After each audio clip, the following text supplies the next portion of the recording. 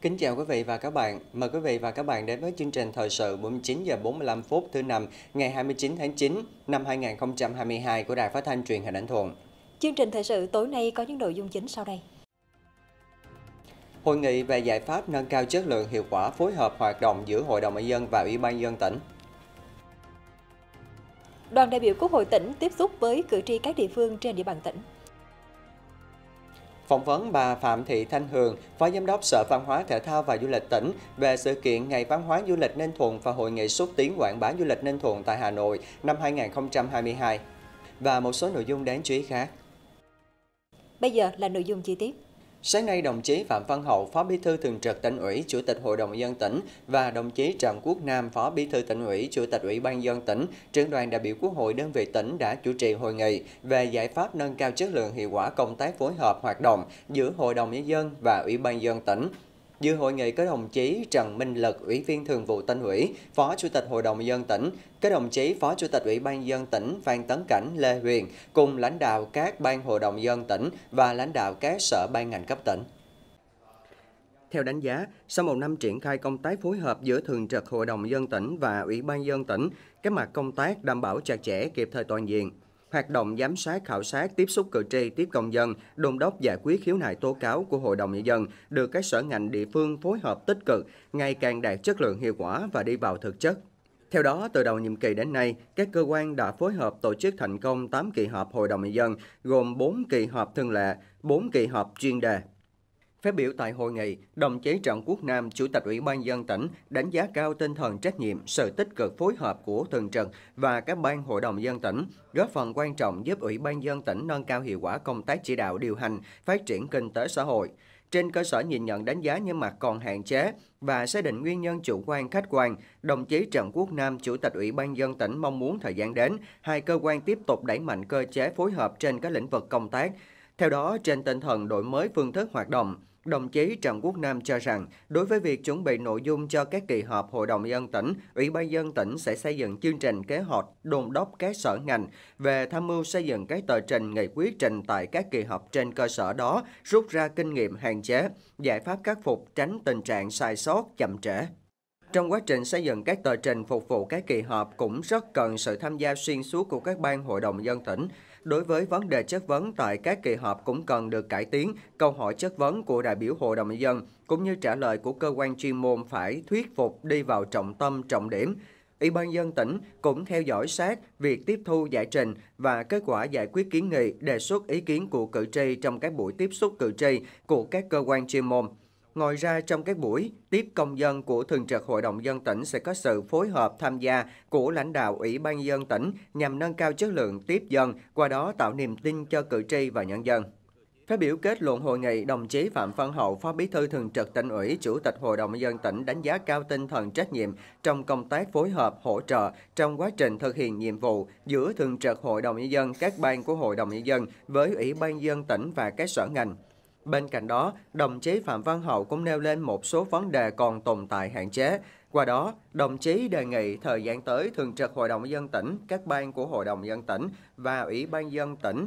cùng các cơ quan chuyên môn sẽ phối hợp chặt chẽ, nhịp nhàng trong việc chuẩn bị các nội dung cho các kỳ họp Hội đồng dân tỉnh, đặc biệt trong việc xây dựng các tờ trình nghị quyết, tránh tình trạng chậm trễ và không đảm bảo chất lượng. Cùng với đó sẽ luôn sâu sát để đề xuất tham mưu kịp thời những chính sách giải quyết những vấn đề bức xúc của nhân dân. Đồng chí Phạm Văn Hậu cũng lưu ý đối với các sở ngành cần cập nhật quy định chính sách mới, ra soát điều chỉnh các văn bản quy phạm pháp luật, các chính sách không còn phù hợp tích cực phối hợp nâng cao chất lượng giám sát của Hội đồng dân tỉnh đối với việc giải quyết các kiến nghị của cử tri, đồng chí Phạm Văn Hậu, Phó Bí thư Thường trực Tỉnh ủy, Chủ tịch Hội đồng dân tỉnh yêu cầu các cơ quan chuyên môn thuộc Ủy ban dân tỉnh thực hiện triệt để, không kéo dài, trì trệ, góp phần thực hiện có hiệu quả chương trình nâng cao chất lượng công tác phối hợp hoạt động giữa Hội đồng nhân dân và Ủy ban dân tỉnh. Sáng nay, Ban chấp hành Đảng bộ huyện Ninh Sơn khóa 12, nhiệm kỳ 2020-2025 tổ chức hội nghị lần thứ 14 nhằm đánh giá tình hình thực hiện nhiệm vụ 9 tháng và triển khai nhiệm vụ 3 tháng cuối năm 2022. Đến dự có đồng chí Nguyễn Tiến Đức, Ủy viên Thường vụ tỉnh ủy, chủ nhiệm Ủy ban Kiểm tra tỉnh ủy. 3 tháng còn lại của năm 2022, huyện Ninh Sơn phấn đấu xây dựng thị trấn Tân Sơn đạt đô thị loại 4 và xã Quảng Sơn đạt chuẩn nông thôn mới, đẩy mạnh công tác giải ngân các nguồn vốn, tăng cường công tác quản lý tài nguyên môi trường, đặc biệt là đất đai, rà soát điều chỉnh bổ sung các loại quy hoạch, thực hiện chương trình giáo dục phổ thông mới, có biện pháp ngăn chặn việc chạy chính sách để miễn giảm học phí. Đẩy nhanh tiến độ tiêm vaccine phòng chống COVID-19, thực hiện đầy đủ các chính sách an sinh xã hội cho người dân, chuẩn bị thực lực giao quân năm 2023, tiếp tục thực hiện tốt công tác nội chính phòng chống tham nhũng, tăng cường thanh tra, kiểm tra và xử lý nghiêm các sai phạm, đồng thời đẩy mạnh công tác phát triển đảng viên. Cũng trong sáng nay, Ban Thường vụ huyện ủy Thuận Nam tổ chức hội nghị Ban chấp hành đảng bộ huyện mở rộng nhằm đánh giá kết quả thực hiện nhiệm vụ 9 tháng và triển khai phương hướng nhiệm vụ 3 tháng cuối năm 2022. 3 tháng cuối năm 2022, Thuận Nam chỉ đạo các cơ quan, phòng ban liên quan nâng cao chất lượng giáo dục, đẩy mạnh ứng dụng công nghệ thông tin vào công tác giảng dạy, đẩy mạnh tiêm vaccine phòng COVID-19 cho trẻ từ 5 tuổi đến dưới 12 tuổi, tiêm mũi 3 và mũi 4 đạt kế hoạch đề ra tăng cường lãnh đạo chỉ đạo giữ vững an ninh chính trị, trật tự an toàn xã hội, phục vụ cho sự phát triển kinh tế xã hội tại địa phương. Chuẩn bị tốt thực lực, chuẩn bị cho giao nhận quân năm 2023, tổ chức nghiên cứu, học tập, quán triệt và triển khai thực hiện đầy đủ các nghị quyết chỉ thị, quy định của Trung ương, tỉnh, huyện, nâng cao hiệu lực, hiệu quả hoạt động, quản lý, điều hành của Ủy ban Nhân dân các cấp, nâng cao vai trò trách nhiệm của đội ngũ cán bộ công chức, tiếp tục thực hiện kỷ luật kỷ cương trong cơ quan hành chính các cấp, phấn đấu hoàn thành các chỉ tiêu kế hoạch năm 2022. Sáng nay, đoàn đại biểu Quốc hội tỉnh đơn vị bầu cử số 2 gồm bà Đặng Thị Mỹ Hương, Phó trưởng đoàn đại biểu Quốc hội tỉnh và ông Nguyễn Văn Thuận, Chủ tịch Hội cựu chiến binh tỉnh đã tiếp xúc cử tri xã Phước Thắng, huyện Bắc Ái. Tại buổi tiếp xúc, cử tri xã Phước Thắng ý kiến hơn 15 năm thực hiện chính sách hỗ trợ tái định canh, thực hiện dự án hồ thủy lợi sông sắt. Theo tiêu chuẩn, mỗi khẩu được cấp 2.000 m2 đất sản xuất, nhưng đến nay có 162 hộ mới chỉ được cấp một khẩu trên 1.000 m2. 9 hộ vẫn chưa được cấp đất sản xuất và 50 hộ không nhận do đất xấu. Tình trạng thiếu đất sản xuất là nguyên nhân chính làm cho tỷ lệ hộ nghèo của xã Phước Thắng tăng lên 403 hộ, chiếm hơn 44%, cao nhất huyện Ba Gái. Trả lời nội dung này, ông Carter Tin, Chủ tịch Ủy ban Nhân dân xã Phước Thắng cho biết, việc thiếu đất sản xuất cấp cho người dân một phần do nhiều diện tích đất tại địa phương đã cấp cho các doanh nghiệp trồng rừng, nhưng sử dụng không đúng mục đích. Do đó, địa phương đề nghị Quốc hội cần có ý kiến để tỉnh thu hồi giao lại cho xã để cấp cho người dân sản xuất. Tại cái đợt tiếp xúc cử tri đợt này thì cũng mong muốn kiến nghị à, với đại biểu Quốc hội thì có xem xét à, nếu được thì là chúng ta Ờ, thu hồi một phần để mà chúng ta giao lại những cái hộ mà thiêu đất hoàn toàn cũng như là 162 hộ là thiêu đất một lô. Và vừa rồi là chúng tôi cũng có các cái đợt tiếp xúc cử tri cái đợt trước thì cũng giống như ý kiến của chủ ờ, đồng chí Mai Văn Chuối nếu mà không có ờ, xã không có quỹ đất nữa thì là chúng ta chuyển đổi nghề hoặc là hỗ trợ một cái cơ chế đặc thù gì đấy à, cho cái bà con. Chứ không thì qua đợt này nhiệm kỳ người này thì qua nhiệm kỳ sau thì vẫn là cái, cái bài toán này là vẫn còn là tiếp tục không có thể mà giải được. Ông Mậu Thái Phương, Bí thư huyện ủy Bác Ái cho biết thêm, không chỉ thiếu đất sản xuất mà hiện nay do việc tách hộ nên xã Phước Thắng vẫn còn 72 hộ đang thiếu nhà ở. Để tránh tình trạng người dân trở lại làng cũ sinh sống, huyện Bắc Ái đã kiến nghị tỉnh thu hồi các diện tích đất đã cấp cho các doanh nghiệp và trường đại học lâm nghiệp nhưng sử dụng không đúng mục đích để giao lại cho địa phương quản lý. Ờ, liên quan với ờ, trường đại học ờ, lâm nghiệp á, trường cái này cơ sở 2 ở Trạm Bom thì cái này là trường này cũng có làm địa phương. Trước đây là hỗ trợ đào tạo nguồn nhân lực tại địa phương. Cũng nhờ kết nối như thế mà các đồng chí lãnh đạo trường ra đây quan tâm thì xây dựng một cơ sở là gì? Cái trạm thực nghiệm để nghiên cứu về các cây ở cái vùng đây. Nhưng mà làm dự án thì không đúng nhưng mà cuối cùng cũng làm cái trạm thực nghiệm nhưng mà ông toàn là trồng mía trồng mì trồng dưa hấu mà cái này nếu mà làm vậy thì dân mình trồng cũng được chứ không phải nhất thiết cái trạm thực nghiệm này làm. Cho nên là ý này là gì? Là của xã và huyện đề nghị là gì? Tỉnh thu hồi lại cái dự án này để giao lại đất cái số thiếu dân ờ, giao cho dân. Cử tri xã Phước Thắng, huyện Bắc Ái cũng kiến nghị về chất lượng các công trình giao thông nông thôn trên địa bàn xã, chất lượng thấp, dẫn đến xuống cấp, cần sớm được sửa chữa nhằm tạo điều kiện thuận lợi cho nhân dân trong đi lại và vận chuyển hàng hóa. Kêu gọi các dự án đầu tư vào huyện nhằm tạo công ăn việc làm cho lao động tại địa phương, quan tâm công tác bảo tồn và phát huy bản sắc văn hóa của đồng bào dân tộc Rắc Lai. Bà Đàn Thị Bỉ Hương, Phó trưởng đoàn đại biểu Quốc hội tỉnh cho rằng, các kiến nghị của cử tri xã Phước Thắng, huyện Ba Cái là rất xác đáng, đúng với tình hình thực tế tại địa phương. Đoàn sẽ tổng hợp và gửi đến các cơ quan xem xét giải quyết trong thời gian sớm nhất. Chiều nay, đoàn đại biểu Quốc hội tỉnh, đơn vị bầu cử số 2 tiếp tục tiếp xúc cử tri xã An Hải, huyện Ninh Phước.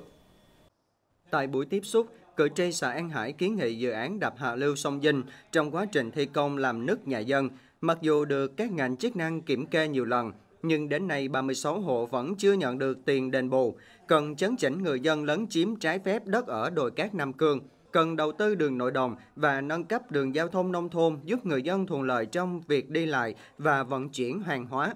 Cần có chính sách cho cán bộ không chuyên trách để làm việc ở các xã, Tình trạng bờ bắc sông Lu đoạn qua thôn An Thạnh 2 hiện nay đang sạt lở, ảnh hưởng đến đời sống sản xuất của người dân. Bên cạnh đó, cử tri xã An Hải phản ánh có tình trạng người dân đi khám bệnh bằng bảo hiểm y tế tại Bệnh viện Đa khoa tỉnh Ninh Thuận nhưng lại hướng dẫn đến khám theo yêu cầu. Trả lời các kiến nghị của cử tri liên quan đến việc lấn chiếm đất khu vực đồi cát Nam Cường, lãnh đạo Ủy ban dân xã An Hải và huyện Ninh Phước cho biết sau khi nắm được thông tin, địa phương đã cử lực lượng đến hiện trường kiểm tra và tổ chức rào chắn với diện tích khoảng 800 hecta. Đây là khu vực đã được quy hoạch để phát triển du lịch, nên sẽ kiến nghị xử lý nghiêm các trường hợp cố tình vi phạm. Trả lời về việc chậm trễ trong việc chi trả bồi thường cho người dân đối với dự án đập hạ lưu sông Dinh, bà Trương Thị Thanh Vân, Chi cục trưởng Chi cục Thủy lợi tỉnh Ninh Thuận cho biết, theo cam kết với người dân trong tháng 7 năm 2022 sẽ chi trả bồi thường nhưng đến nay vẫn chưa chi trả được là do kinh phí lên tới 1,2 tỷ đồng. Đơn vị thi công hứa trong quý tư năm 2022 sẽ hoàn thành việc hỗ trợ sửa chữa nhà ở cho người dân. Thay mặt đoàn đại biểu Quốc hội tỉnh, bà Đàn Thị Mỹ Hương ghi nhận và tiếp thu những ý kiến kiến nghị của các cử tri, đồng thời thông tin thêm đến cử tri một số nét chính về hoạt động của đoàn đại biểu Quốc hội tỉnh Ninh Thuận tại các kỳ họp Quốc hội khóa 15 và khẳng định với tinh thần trách nhiệm cao nhất, các đại biểu Quốc hội tỉnh đã phát huy vai trò người đại biểu dân cử. Ngoài những ý kiến đã được đại diện lãnh đạo địa phương trao đổi, tại buổi tiếp xúc những vấn đề chưa được giải đáp, đoàn sẽ tổng hợp để chuyển đến Quốc hội các cơ quan có thẩm quyền xem xét giải quyết, trả lời cử tri trong thời gian sớm nhất.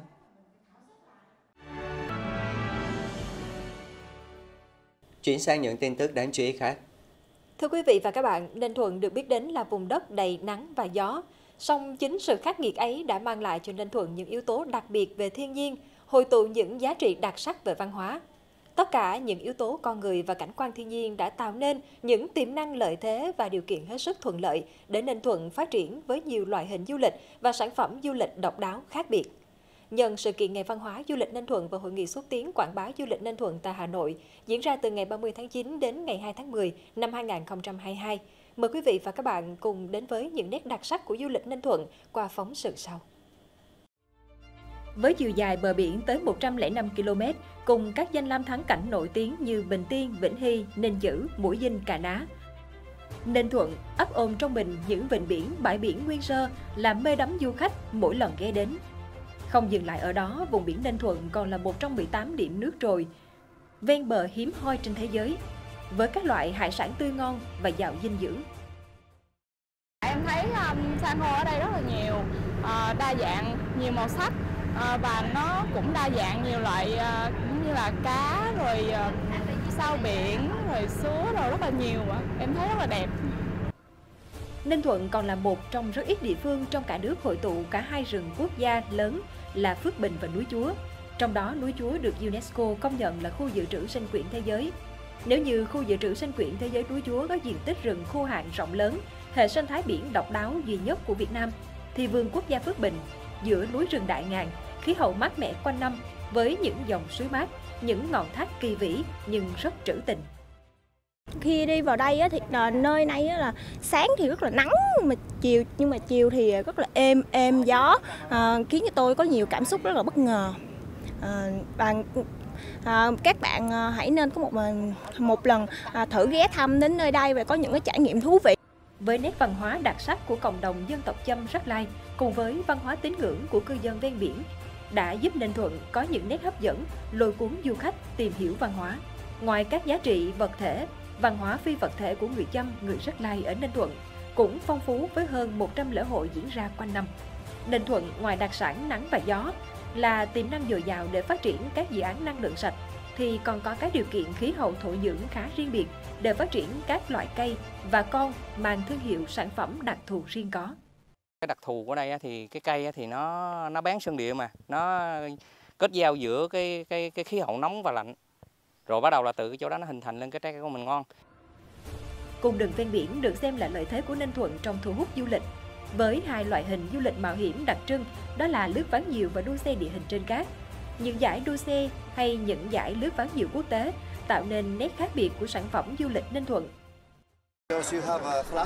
Đây là lần thứ ba tôi đến vùng biển của Ninh Thuận để chơi lướt ván diều. Tôi rất yêu địa điểm này vì đây là địa điểm có sức gió đủ mạnh.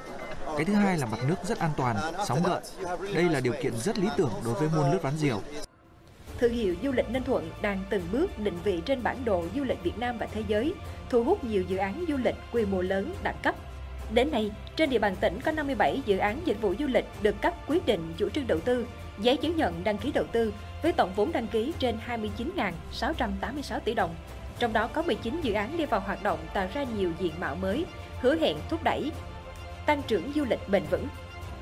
9 tháng năm 2022, ngành du lịch Ninh Thuận đã đón hơn 2,19 triệu lượt khách, tăng 93,2% so với cùng kỳ, đạt 115,5%. Thu nhập xã hội từ hoạt động du lịch khoảng 1.634 tỷ đồng, tăng 124,8% so với cùng kỳ năm 2021. Chúng tôi cảm thấy là rất là tuyệt vời ở cái chỗ là tỉnh tạo cho điều kiện mà chúng tôi làm rất là trơn tru, tất cả các sở ban ngành liên quan đều nhảy vào cuộc để mà hỗ trợ chúng tôi nhanh nhất có thể tạo thời gian ngắn nhất có thể để nhà đầu tư à, tiết kiệm được cái thời gian đầu tư cũng như là chi phí. À, Ninh Thuận xác định cái mục tiêu và hướng đến vào năm 2025 thì à, ngành du lịch là cơ bản trở thành ngành kinh tế mũi nhọn và đến năm 2030 thì du lịch sẽ thật sự trở thành ngành kinh tế mũi nhọn.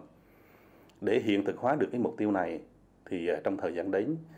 tỉnh cũng luôn mong muốn các cái nhà đầu tư đã được cấp các cái quyết định chủ trương đầu tư cũng như là các cái nhà đầu tư mà tỉnh đã kêu gọi mang hết tâm huyết, trách nhiệm và nguồn lực của mình để triển khai thực hiện các cái dự án đầu tư trên địa bàn của tỉnh với tiến độ và thời gian nhanh nhất để sớm đưa vào khai thác, vận hành, phục vụ xã hội. Bên cạnh đó thì Ủy ban nhân tỉnh cùng các sở ngành của tỉnh sẽ tạo mọi điều kiện thuận lợi nhất để cho các nhà đầu tư triển khai các dự án được thông suốt từ khâu đầu đến khâu cuối cùng. Các cái nhà đầu tư khi đến với Ninh Thuận thì đặt trọn niềm tin và luôn luôn tin tưởng vào sự lãnh đạo, chỉ đạo điều hành của Ủy ban tỉnh, tháo gỡ mọi khó khăn vướng mắt, tạo một cái sự tin tưởng tuyệt đối cho cộng đồng doanh nghiệp khi đến đầu tư. Nằm trên giao điểm của các trục giao thông quốc gia, cách thành phố Hồ Chí Minh khoảng 350 km về phía nam, cách sân bay quốc tế Cam Ranh khoảng 50 km và thành phố Nha Trang khoảng 100 km về phía bắc, cách thành phố Đà Lạt khoảng 110 km về phía tây, đã tạo cho Ninh Thuận một vị trí vô cùng đắc địa. Ninh Thuận hội tụ đầy đủ các yếu tố tài nguyên thiên nhiên, di sản văn hóa, di tích lịch sử, đặc sắc để phát triển du lịch. Với những tiềm năng và lợi thế, du lịch Ninh Thuận đang vươn mình trở thành một trong những điểm đến hấp dẫn nhất khu vực, đáp ứng nhu cầu khám phá, vui chơi giải trí và nghỉ dưỡng của du khách trong nước và quốc tế.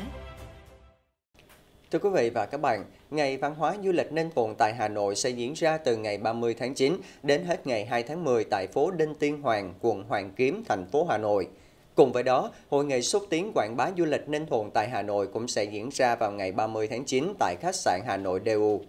Đây là dịp để quảng bá giới thiệu và đưa hình ảnh quê hương con người Ninh Thuận đến với bạn bè trong nước và quốc tế, đồng thời là cơ hội để tỉnh kêu gọi đẩy mạnh các hoạt động xúc tiến hợp tác phát triển du lịch. Đến nay, công tác chuẩn bị cho các sự kiện đã sẵn sàng. Phóng viên Đài Phát thanh Truyền hình Ảnh Thuận đã phỏng vấn bà Phạm Thị Thanh Hường, Phó Giám đốc Sở Văn hóa, Thể thao và Du lịch xung quanh vấn đề này. Mời quý vị và các bạn theo dõi.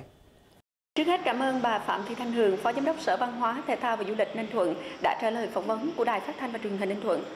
À, ba sự kiện Ngày Văn hóa Du lịch Ninh Thuận tại Hà Nội và Hội nghị xúc tiến quảng bá du lịch Ninh Thuận tại Hà Nội có ý nghĩa như thế nào đối với ngành du lịch Ninh Thuận? Sự kiện à, Hội nghị à, xúc tiến quảng bá du lịch à, Ninh Thuận tại Hà Nội và Ngày Văn hóa Du lịch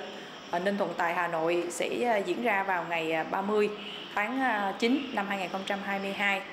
Tỉnh xác định đây là hai cái sự kiện quan trọng. Ờ, thông qua hai cái sự kiện này thì để ờ, quảng bá ờ, giới thiệu tiềm năng du lịch những cái khác biệt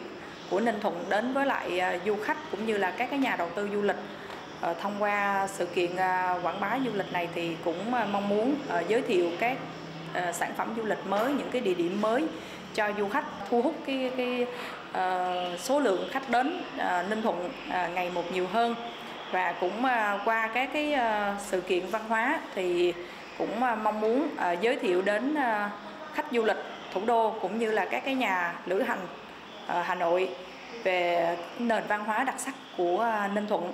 cũng như là các cái uh, sản phẩm đặc trưng, sản phẩm uh, ô cốp, sản phẩm đặc thù rồi các cái nghệ thuật dân gian chăm rắc lay Thưa bà, các sự kiện này sẽ bao gồm những hoạt động gì ạ? Tại ờ, hội nghị ờ, quảng bá xúc tiến ờ, du lịch thì chúng tôi cũng có trình chiếu video clip để giới thiệu các cái sản phẩm và chủ yếu là giới thiệu về cái sự khác biệt của Ninh Thuận so với các tỉnh khác cho các cái nhà đầu tư cũng như là các cái doanh nghiệp lữ hành để họ biết được là khi đến Ninh Thuận thì nó sẽ khác biệt với lại một số cái tỉnh bạn mà chúng ta có cái sự tương đồng. Bên cạnh đó thì ờ, còn có hiệp hội du lịch của tỉnh cũng ờ, ký kết với ờ, công ty Begat và Anet để đưa khách Nga đến trở lại Ninh Thuận. Đối với ngày văn hóa du lịch Ninh Thuận thì tại đây thì chúng tôi cũng có tham mưu tỉnh sẽ trưng bày hơn 50 gian hàng có giới thiệu ẩm thực Ninh Thuận các cái sản phẩm đặc thù, sản phẩm ô cốp cũng như là giới thiệu về cái bộ tranh ảnh đẹp về du lịch của Ninh Thuận và có các cái nghệ nhân của à, người Chăm à, trình diễn chế tác làm gốm, dệt à, thổ cẩm cũng như là biểu diễn kèn saranai trống baranưng rồi nghệ nhân của người Rắc Lây thì chế tác đàn cha bi đánh mala vân vân. À, đến thời điểm này thì công tác chuẩn bị cho ngày văn hóa du lịch Ninh Thuận tại Hà Nội và hội nghị xúc tiến quảng bá du lịch Ninh Thuận tại Hà Nội đã được triển khai như thế nào ạ? Đến thời điểm ờ, hiện nay thì Sở Văn hóa Thể thao Du lịch phối hợp với Sở Công Thương như là Sở Khoa học Công nghệ, Hiệp hội Du lịch, Hội Doanh nhân trẻ vân vân và một số đơn vị cũng như là các cái nhà tài trợ, đơn vị thiết kế cho sự kiện của tỉnh cũng đã hoàn tất các cái công tác chuẩn bị À, hiện nay thì ờ, một số ngành sở và các cái đơn vị cũng đã ờ, có mặt tại thủ đô Hà Nội và công tác trang trí cũng như là truyền thông thì cũng đã được đẩy mạnh cách đây được một tuần. Hai sự kiện này thì được công chúng biết đến rất là nhiều. Một lần nữa cảm ơn bà Phạm Thị Thanh Hường, Phó Giám đốc Sở Văn hóa, Thể thao và Du lịch Ninh Thuận đã tham gia trả lời phỏng vấn. Theo báo cáo của Trung tâm Kiểm soát Bệnh tật tỉnh Ninh Thuận, tính đến ngày 29 tháng 9 năm 2022, toàn tỉnh đã tiêm 1.565.347 liều, trong đó người từ 5 tuổi đến dưới 12 tuổi tiêm mũi 2 đạt 85,5%, người từ 12 đến 17 tuổi tiêm mũi 3 đạt 43,1%, người từ 18 tuổi trở lên tiêm mũi 3 đạt 93,2%, trong đó người từ 50 tuổi trở lên tiêm mũi 3 đạt 97,9%. Nhóm người tiêm vaccine nhắc lại lần 2, mũi 4 đạt 68,3% theo nhóm đối tượng từ 18 tuổi. Bên cạnh các địa phương có tỷ lệ tiêm chủng đạt cao, vẫn còn địa phương đạt thấp cụ thể. Đối với người từ 5 tuổi đến dưới 12 tuổi, địa phương có tỷ lệ tiêm đạt thấp là thành phố Phan Rang Tháp Chàm 68,8%. Đối với người từ 12 đến 17 tuổi, địa phương có tỷ lệ tiêm mũi 3 đạt thấp là huyện Bắc Ái 28,4%, huyện Ninh Sơn 31,7%. Đối với người từ 18 tuổi, địa phương có tỷ lệ tiêm mũi 3 đạt thấp, huyện Ninh Phước 85,9%, thành phố Phan Rang Tháp Chàm 89,2%. Nhóm người tiêm vaccine nhắc lại lần 2, 14, địa phương có tỷ lệ đạt thấp, huyện Ninh Phước 43,5%, huyện Ninh Sơn 56,6%. Chương trình thời sự 19 giờ 45 phút hôm nay của Đài Phát thanh và Truyền hình Thuận khép lại tại đây. Cảm ơn sự quan tâm theo dõi của quý vị và các bạn. Sau đây mời quý vị và các bạn theo dõi những thông tin về dự báo thời tiết.